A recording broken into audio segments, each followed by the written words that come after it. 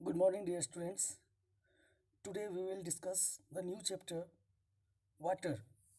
The topic is Introduction Water Cycle. At first, we discuss about its introduction. Water is important to us. Without water, life cannot exist.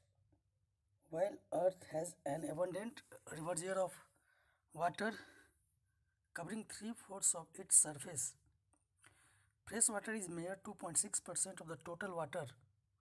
Water is said to be a renewable resource, but the rate at which human and animals are using water, fresh water might be a scarce resource in the recent future. Our body is also made up of 70% of water and we use water for a number of reasons from cooking to cleaning and of course drinking it. Now we are on the new uh, we are on the topic where does water come from? People living in different regions have different sources of water that they use. While some draw it from wells ponds and lakes directly others like many of us receive water through taps via a network of pipes connected to these lakes ponds and rivers now the topic is water cycle. It is circulation of water through the process of evaporation or condensation as rain or snowfall. Water cycle is like a ring in nature.